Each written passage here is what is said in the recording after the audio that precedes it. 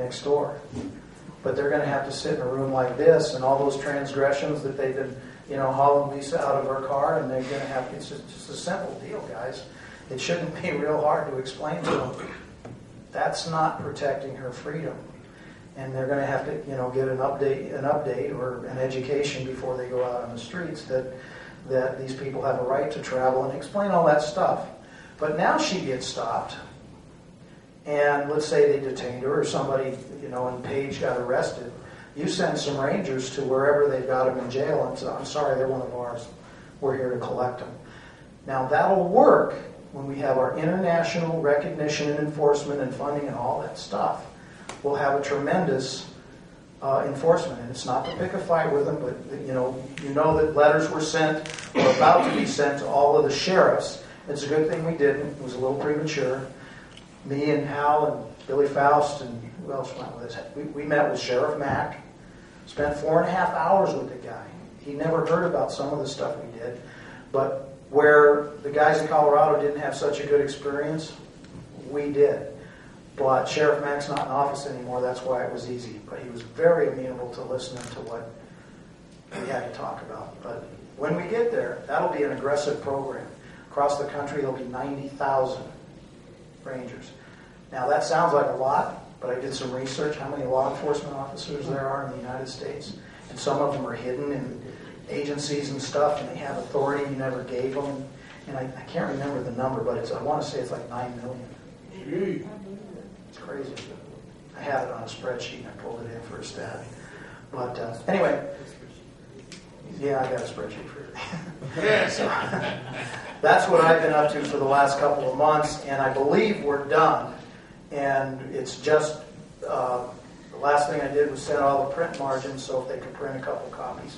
Because the, the nation budget has, it only has two states on it at the very end on tabs like this.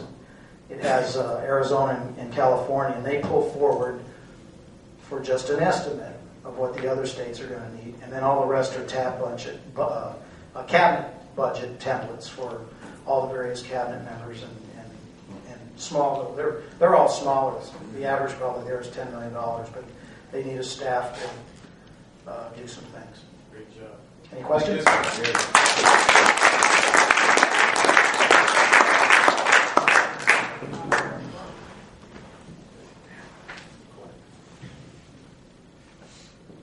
sure. Um, hi, everybody. I figured since we're talking budgets real quick, I wanted to brief you guys. I'm a chairman for the Armed Services Committee as well, and uh, we just reviewed our budget for the Department of Defense um, and wanted to give you just the general numbers. I'm not going to go into extensive explanation as Jim. Um, right now, the Department of Defense in a parallel phase, meaning that the de facto is running and the Republic is running at the same time. Um, we have some minimal equipment that we have, and it's mostly air support um, uh, equipment. So as you see here, obviously the salaries, the uh, administration, and things like that. Here you'll see just as far as costs. But here, compared to, uh, we're looking at 2.2 billion dollars. We have to purchase airplanes. Uh, we're going to have three locations um, in the Republic, East Coast, um, somewhere in the Midwest, Salinas, and the West Coast. Salinas, Kansas. Not, it's not for sure yet. It's just it's a good idea. Yeah. And San Yeah, we're, um, so uh, we reviewed this the other day um, and approved that. Um, but I just wanted to share that with you and, and how the D- Department of Defense of the Republic is going to be supporting the Rangers um, with air support and, and also flying a lot of the representatives to where they need to go and meet with people or whatever that may be. Um, but again, um, this is very minimal, um, and this is in the parallel phase. Um, but just wanted to share that with you just briefly. Thank you. Well, he says that so that there's no confusion. There's about 83 air, airplanes. Most of them are small. There's one big airplane to, to fly the president around, and maybe uh, the mostly the consideration there is, is uh, over over the pond. Okay, the idea, the reason I wanted to say this, this isn't to fly legis, um, legislators around like Nancy Pelosi. The, the bigger part of the, what's going to the air support is going to be is for the ranger program getting rangers around and, and, and so forth for our uh, security than, than anything else. But there are a couple of small, there's a, one big airplane, most of these are trying to get used ones, and that's a whole other exercise. We happen to have a, couple of really good pilots, and um, they gave me some costs and, you- you know, did, put some hangars and all this stuff. But the idea is the legislators are going to get on common carriers and stuff, just so you know. Okay, uh, old business, that, that concludes that, and Arizona Safety Association. Robert McCoy, on old business, do you have anything to, he here? Okay. Sorry it took so long, but it took two months to get all that done.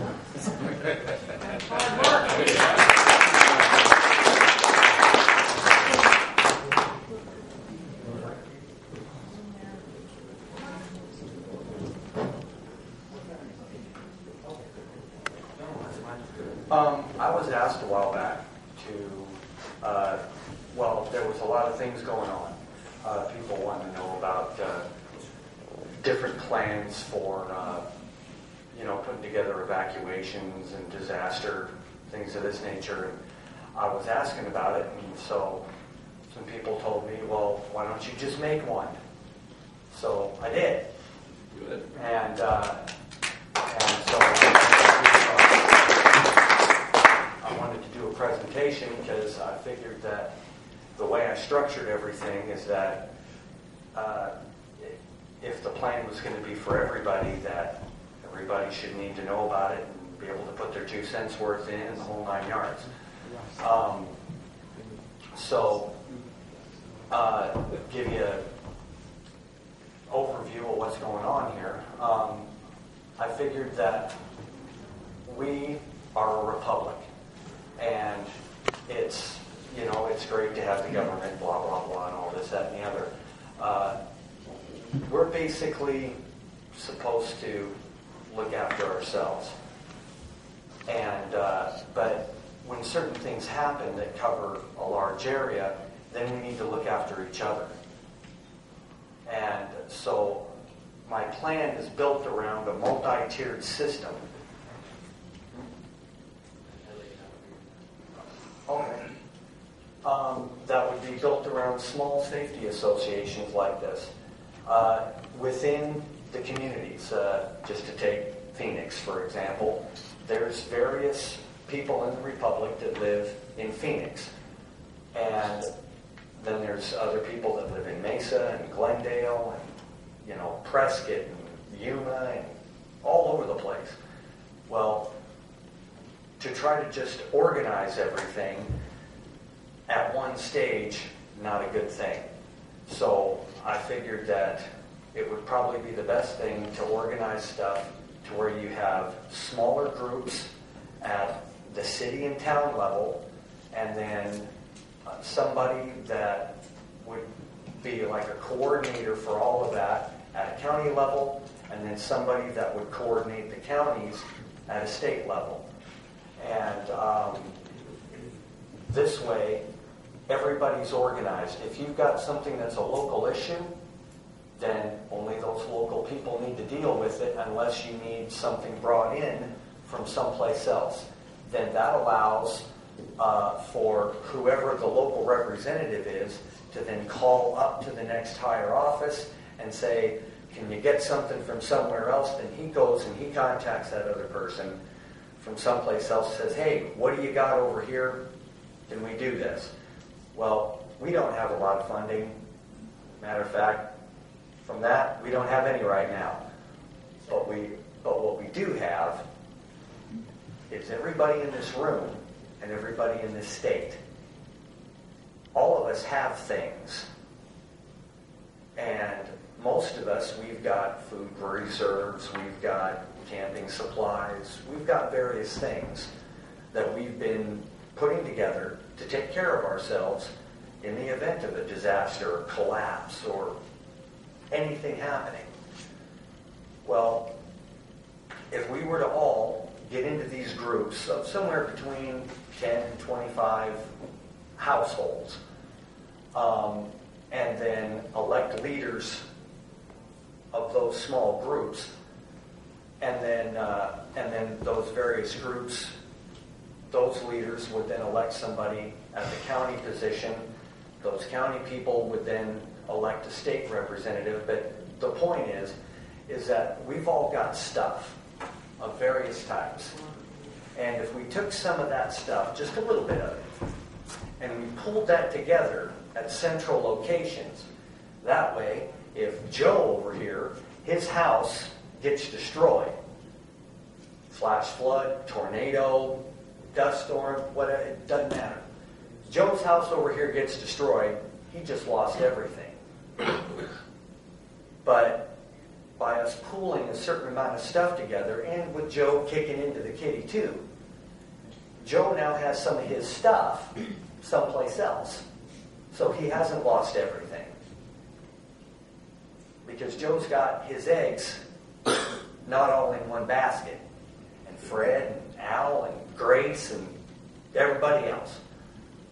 So going under that, that way not only do we have some of our stuff in other locations, but it puts us in a good position to help out other people. Um, FEMA's not always going to be around.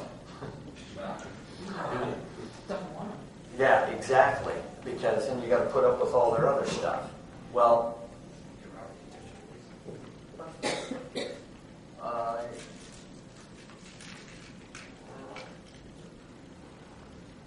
yeah, first couple of.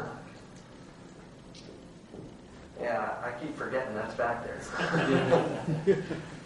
Um, But uh, by, by, by organizing all of this stuff together, it puts us in a position to where no matter what happens, we can take care of ourselves and each other. Um, and by having these small organizations at the ground level up, then whatever stuff we that that we start to collect up together is close by. But then as as we progress in our organization, what I see happening as far as this plan is as it sets is that uh, we have a certain amount of things stored with our local group.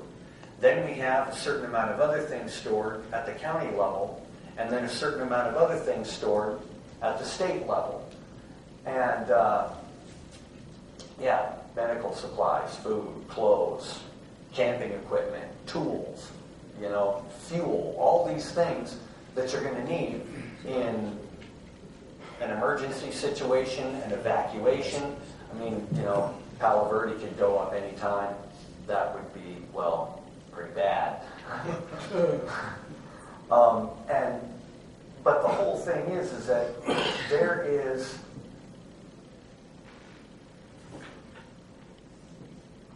there's lots of areas that you can go.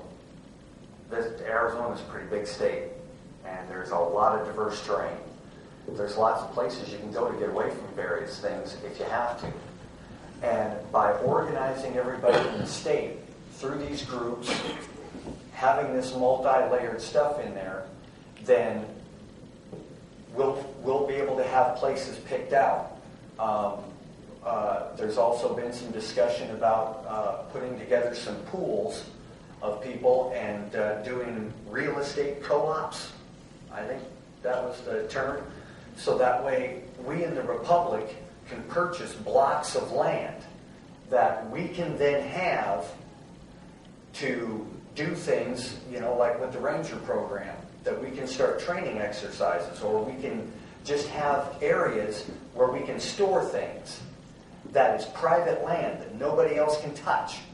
So we don't have to worry about, well, gee whiz, uh, if some kind of collapse happens and the government shuts down stuff, well, then, like uh, storage lockers, it uh, may be news to some folks, but uh, all those under the federal, uh, uh, the FEMA thing, if there's a national emergency, those are all those storage units are locked down. Wow. And everything in it is confiscated. And uh, so storage lockers, not such a good idea. but if we have private land that's our land. Nobody can tell us we can't go to our land. Um, and so what I was thinking is that if we have smaller plots within each county, and then maybe a couple of larger plots at the state level, then when it comes to like ranger training, we'll have places way before we get all this funding. We'll already have places to do this stuff. Not to mention that if we want to go hunting or camping, we'll have places that the de facto can't tell us, nope, you can't be here. This is the wrong time of year. Nope, you can't do that there because we said so. It's private property. We can do as we will. And, uh, but as I said too, as a good place to store things, in the event we have to evacuate an area, say, hey, there's right there, we own it, it's our spot. Then we go there. Um, and uh, yeah, exactly. Think like country. um, but uh, also, in order to organize not just different equipment and supplies, but in, uh, in an attempt to organize the people, every one of us have different skills. All of us. I'm a Henry lover. Morse code. So, what I thought would be a good idea too is to make up some sort of a questionnaire or whatever for people to write down all of their job skills, hobbies, anything like that that could be useful in things. So that way, once we have these small community organizations set up and whatnot, that whoever's in charge of that would have a copy of what everybody knows how to do. So if something goes south, then then all these various leaders, they already know what the skill sets are of everybody in that group. And so if people show up to deal with the issue, okay, uh, Fred, I need you to go over here and do this because you got the most experience with that. Joe, I need you to handle this. And this way, you don't have a mob of people showing up. That's the wrong time to figure out who knows what. because something bad's already happened and the clock is ticking. Um, so that's the time when you need to have people that know what everybody else knows.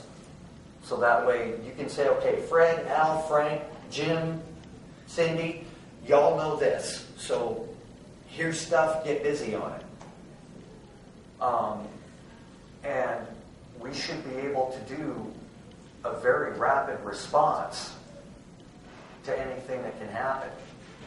And, uh, and then I thought the best way to go about choosing leaders would be to use the go type of format to where people don't say, well, hey, I want to do this. Because um, that may not necessarily be the best thing.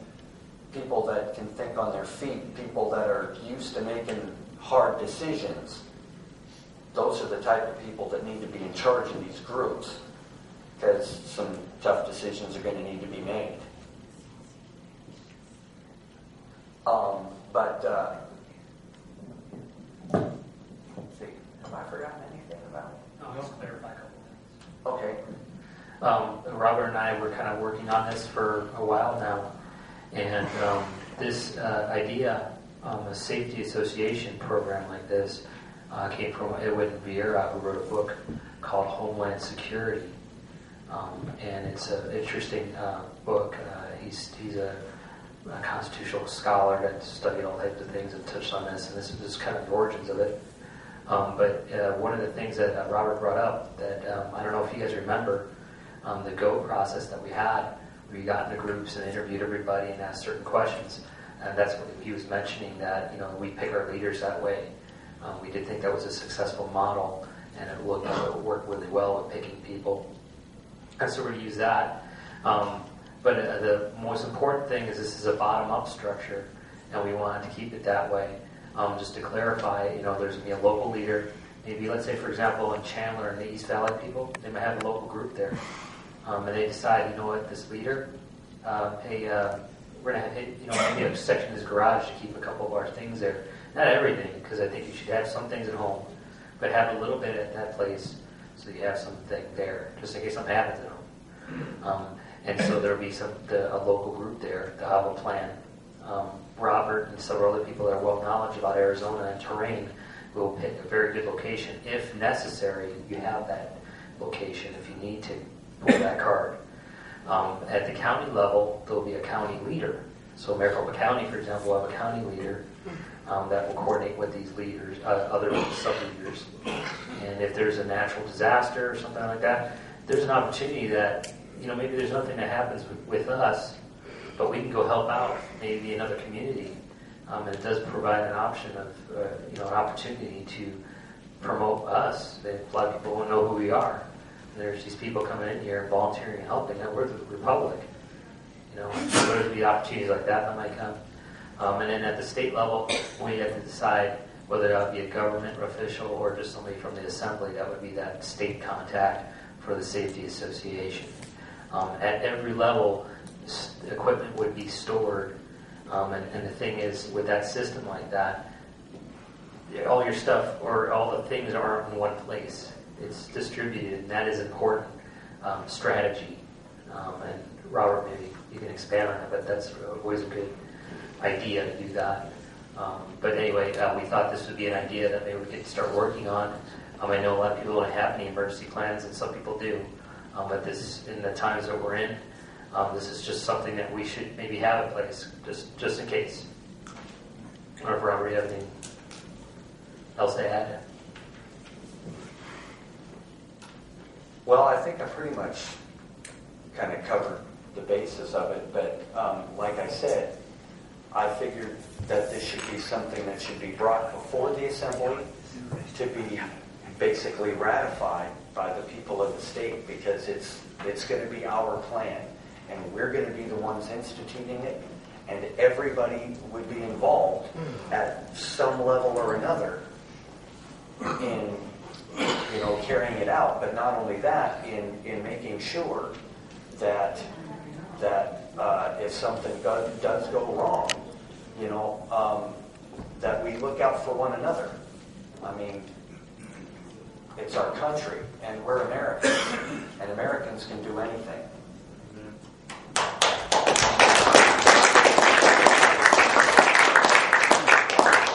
Well, uh, I saw a hand up there. I- Yes, sir. I'd like to make two comments. One, you mentioned that uh, self-storage facilities could be closed down by FEMA. That may be true with uh, national corporate chains, but it is not necessarily true with locally, privately owned facilities. Number two, the, uh, uh, the communications systems that you listed, I would suggest some alternate communication system because it's recently been proved that a nation can pull the plug on communications uh, on all those things that you had listed. Well, those were just some, I understand just some that. suggestions that I've come up with. I understand that, but, but we need to devise an alternate form of communication, whether it be uh, sign language, smoke signals, I don't care, whatever.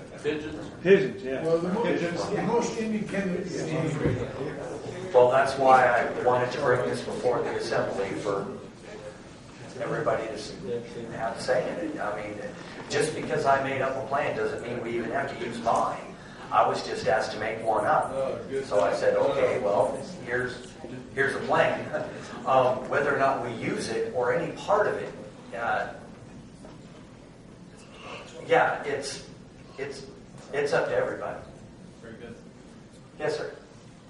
There are historically two excellent blueprints that you can draw from. Both of them. Can you speak up a little? You. Yes. I'm old. I said historically, there are two excellent blueprints that you can draw from for this, both of which had the same principle in mind. In the United States, it's called civil defense. It's a homegrown process. They were very conscious back in those days about constitutional compliance, keeping their freedom and all sort of thing. Not so anymore. But in, an- in an older time, there already was a program where they invited people to participate voluntarily.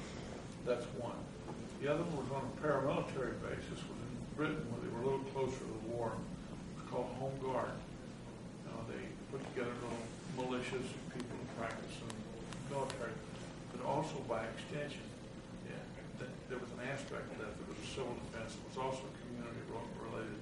Those are two excellent blueprints that are, are already a matter of his- historical, and they worked extremely well in a different time. Yeah, excellent. Yes? Oh, okay. Um, also along with the blueprint, I was thinking about the Mormon Church, which Jeff's talked a lot about. One of the things that they do is they, they have these Ziploc bags and they, they make hygiene kits out of them and then send them to different parts in the world. But in that Ziploc bag, there's, I think, a bar of soap, a washcloth, a toothbrush, toothpaste. Um, I don't remember what else. They do different bags. The hygiene is one of them. And just to get us started, um, I'd like to make a motion for all of us next time to, and I'm totally okay with a friendly amendment, this is just what came to my mind, to bring toiletry items, um, toothpaste, toothbrush, washcloth, bar soap, I don't know, whatever, and put it on that table, or we can have a table outside, and then somebody can collect it next time, and we'll figure out what to do from there. But at least this way, we're getting started. If you guys want to do something different than hygiene, whatever, I'm okay with that. If you'd rather do tuna fish, or, I don't know, whatever. Anyway, um, that's my motion. Anybody want to second it? I'll second it. You have a second? No, What? no, I don't have a question. Okay. Open for discussion.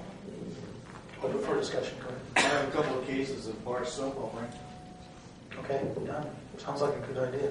Yeah, I've got all. Yes, sir. areas. You, you were talking about putting together a list of everybody's skill sets and maybe supplies and different things that we have stored or are willing to, to share with, with the group.